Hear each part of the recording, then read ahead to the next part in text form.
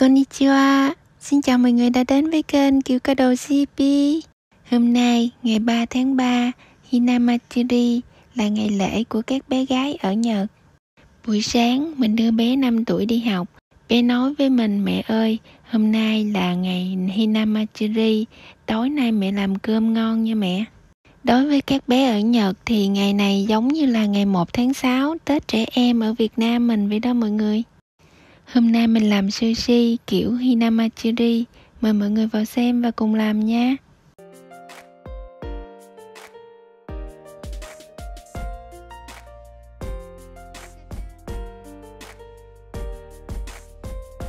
Trước tiên, mình sẽ làm giấm sushi. Giấm này mình không có mua sẵn mà mình tự pha ha. 4 muỗng canh giấm ăn. Muỗng canh là muỗng 15ml 15cc ha.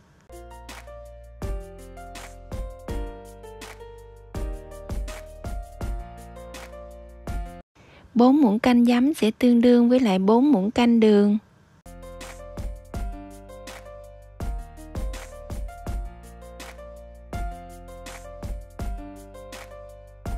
Và 2 muỗng cà phê muối.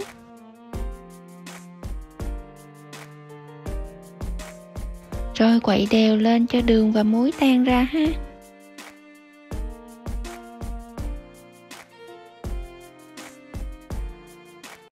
Rồi mình cho vào đây 800g cơm.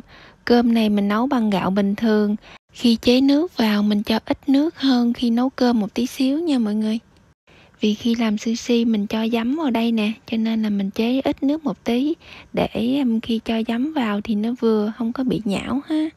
Rồi mình cho giấm vào đây, cho từng muỗng giấm vào đây và xới lên xem coi nó thấm tới đâu rồi mình mới cho tiếp nữa nha cơm còn đang nóng nè, mình xới lên như vậy cho nó bay hết cái hơi ha. Nó bay cái hơi đi thì nó sẽ vừa.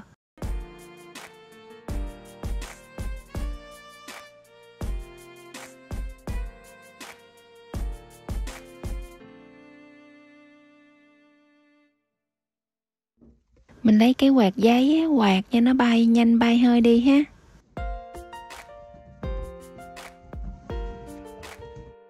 Tiếp tục xới lên. Và mình thấy như vậy là vừa rồi nè.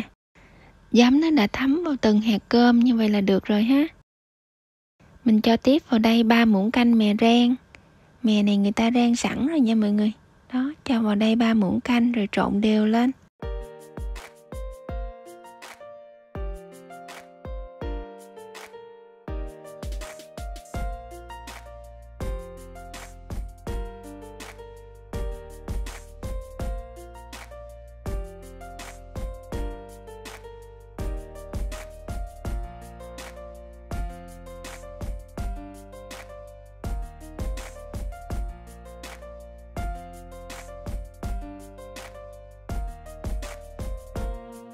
Đây là cá sống tôm các loại um, có trứng nữa ha. Người ta bán nguyên set như vậy.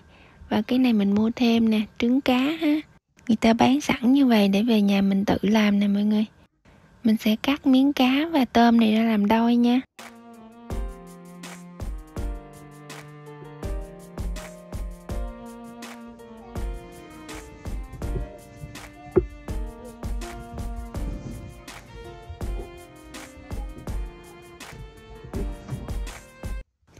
Trải lên thớt một tấm đắp bư.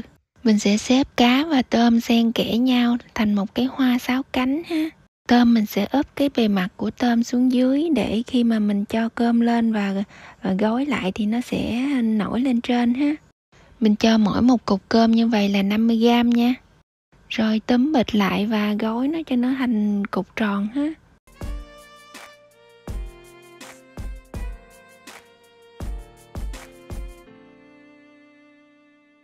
Đó, mình bóp thành cục tròn và xoay cho nó chắc lại ha.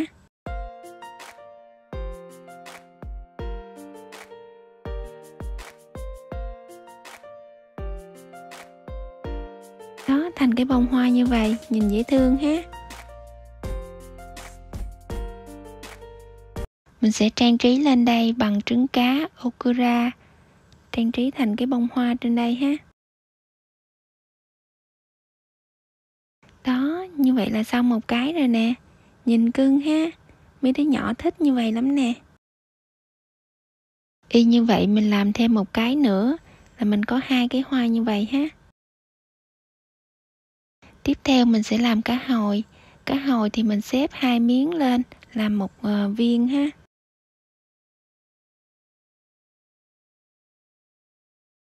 Rồi mình cũng cho 50g cơm lên đây cơm thì mình cân ha, cân cho nó đồng đều. Rồi túm bịch lại và nắm cho nó thành viên tròn ha.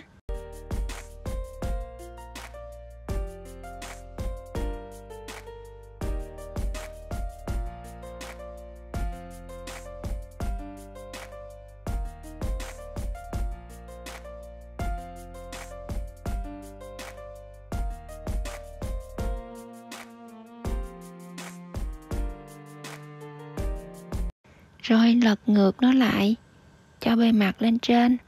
Và mình cũng dùng trứng cá okura để làm cái bông hoa trên này ha. Đó, như vậy là xong viên thứ ba rồi nè. Cá này mình có nhiều nên mình sẽ làm bốn viên như thế này ha. Rồi tiếp theo là trứng. Trứng thì mình dùng một lát trứng như thế này. Và cũng cho một cục cơm 50g lên.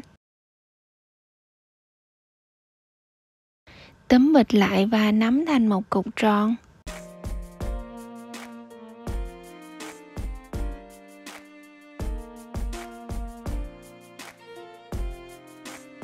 Lật bề mặt của nó lên.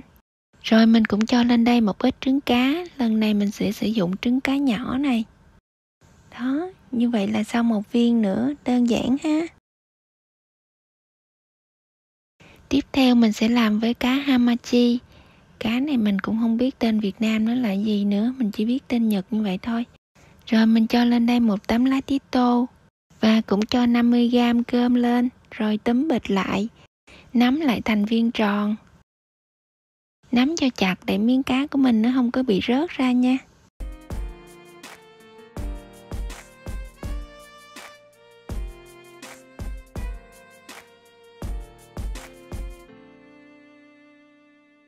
Rồi mình cũng trang trí trứng cá lên đây thành hình bông hoa ha. Đó, như vậy là xong rồi nè. Tiếp theo mình sẽ làm sushi theo kiểu gương cằn, cái chiếc xuồng đó mọi người. Mình sẽ dùng cái dây chuột này để làm ha. Mình sẽ dùng bàn bào bào nó thành sợi như vậy. Bào sợi dài ha.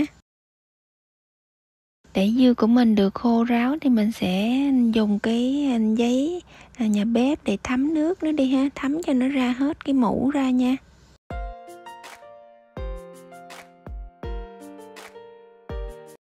Đậy thêm một tấm giấy lên trên nữa, cho nó thấm hết cái mũ ra.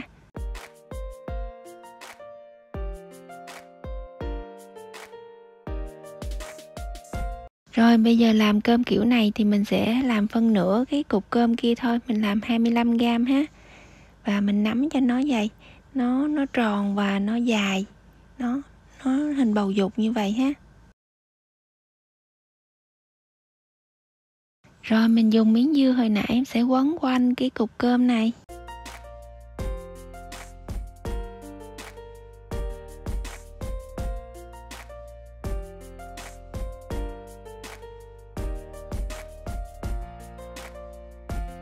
Ở đây mình có một ít cá manguro nè, người ta đã mài nhuyễn nó ra rồi nè não nó nhuyễn ra rồi. Mình cho một nửa lên đây, mình sẽ làm hai cục như vậy ha. Rồi mình cũng tạo một cái bông hoa trên này ha. Như vậy là xong rồi nè, mình làm hai cục như vậy ha.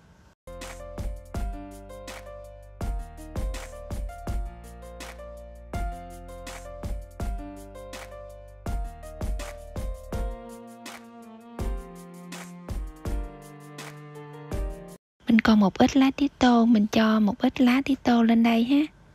Đó, rồi cho cái maguro lên. Và cuối cùng là trứng cá ikura. Đó, như vậy là xong rồi nè. Tiếp theo mình cũng làm kiểu này, nhưng mà mình cho ở phía trên là cây trứng cá ha. Đó, như vậy là xong rồi nè rồi xong kiểu chiếc thuyền rồi, bây giờ mình sẽ dùng trái dưa này, mình cắt ra thành từng lát mỏng và tròn như thế này để làm cánh hoa.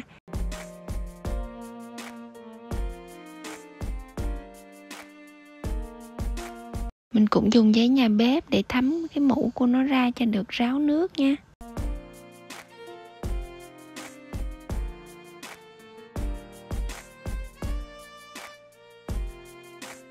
Tiếp tục trải ráp bừa ra và xếp cái dưa này cho nó thành một cái bông hoa năm cánh ha.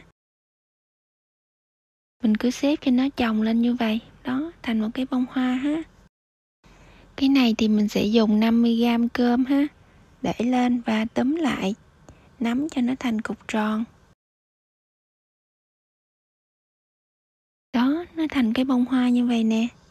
Nhìn cưng ha lật bề mặt của hoa lên và tiếp tục dùng trứng cá ikura để làm cái nhụy trên này ha. Đó, như vậy là xong rồi nè. Mình có hai cái bông hoa này ha. Tiếp tục cái phần dây chuột hồi nãy mình còn nè, cái lát dài mình cắt ra phân nửa, rồi mình sẽ đan thành tấm lưới.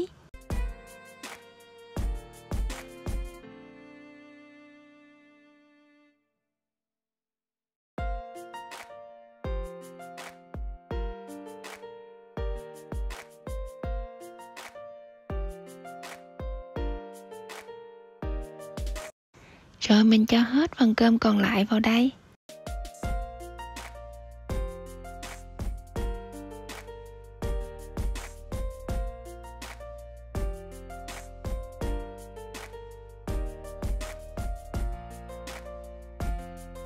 Túm bịch lại và kỳ này mình sẽ làm cho nó thành hình chữ nhật nha.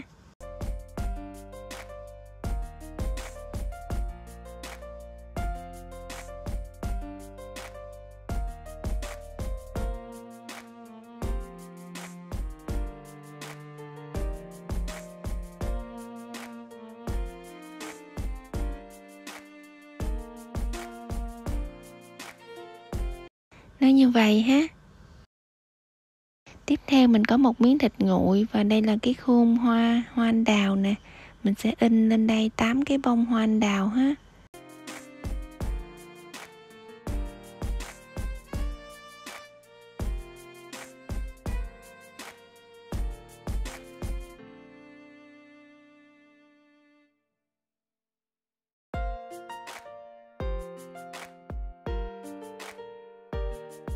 Rồi xếp hoa anh đào lên đây ha.